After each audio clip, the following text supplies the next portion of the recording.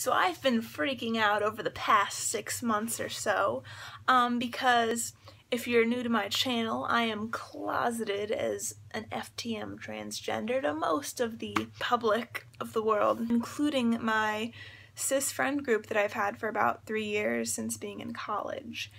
And I've been wanting to, for about the past six months, come out to my best cis friend, Cameron and I'm very sentimental about people, and I'm especially sentimental about Cameron. I met him um, my first day of freshman year. We were in the same TT group, which is like, you know, they broke us into um, freshman groups of like 10 or whatever, um, like the first freshman week of college. And I met him first day. We were best friends ever since. Um, in the past year or so, I've been socially isolating myself from my cis friend group because they were all raised very uh, conservatively. I've been afraid of what their views of me might be.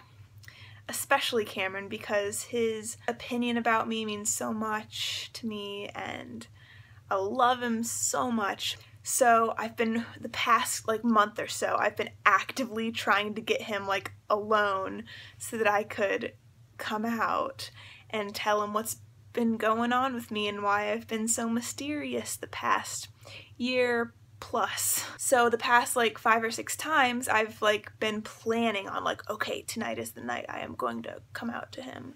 There's been like other people at his house or like me and him go to dinner, but then he invites like five other people and I didn't know that he was gonna do that. Tonight we are gonna go see the Jungle Book and he was like, yeah, do you want me to post in the group text to see if a bunch of other people want to go?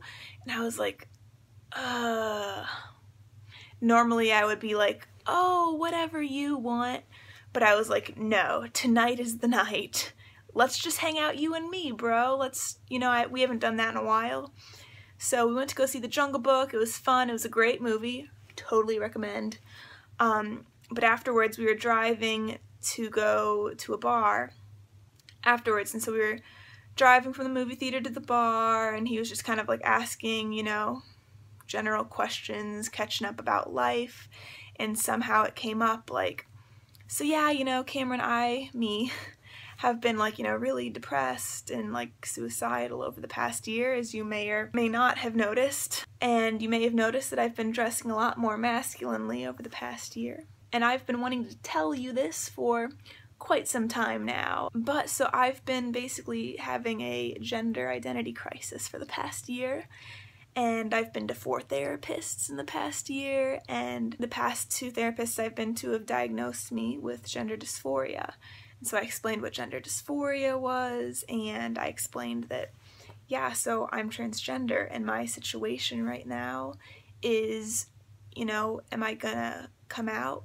When am I gonna come out? Or am I gonna live the rest of my life as a girl and see how that goes. And like I couldn't believe like the words that were flowing out of my mouth when I was telling him this cuz like uh, it was just like such a horror film like in my mind because he's grew up in a very conservative Christian household. In the past he has expressed like anti-gay marriage views to me as a lot of my um, cis friend group has here at my conservative Christian small college. He was super cool about it. He's like, okay, well, um, just so you know, like, I'm really ignorant to these issues, but I'm like totally supportive.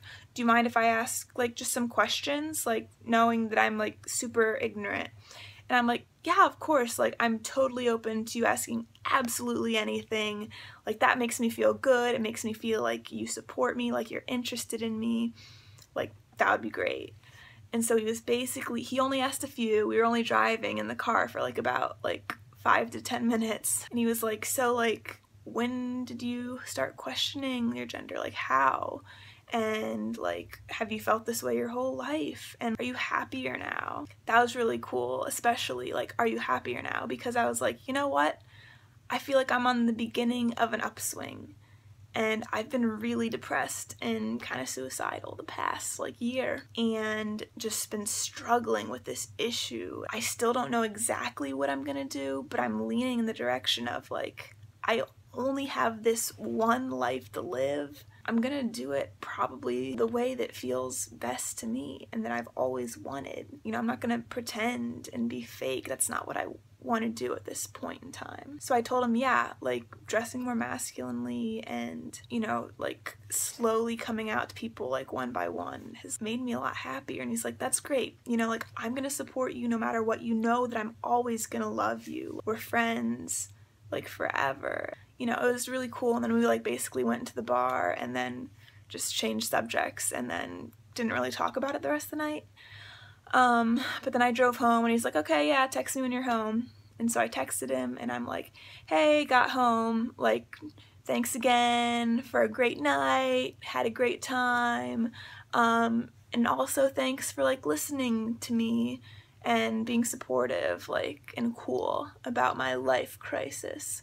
And again, you're always welcome to ask questions about anything, especially over the next few months as things might be progressing with what I'm dealing with. You're my favorite, smiley face.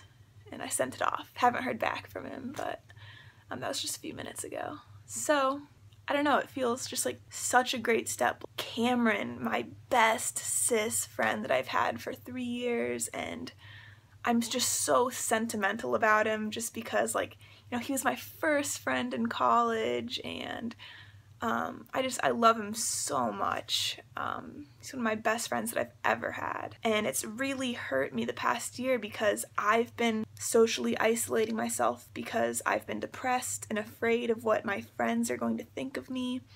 And while I've been hiding in my room being socially isolated, he's been going off and making this whole other group of friends.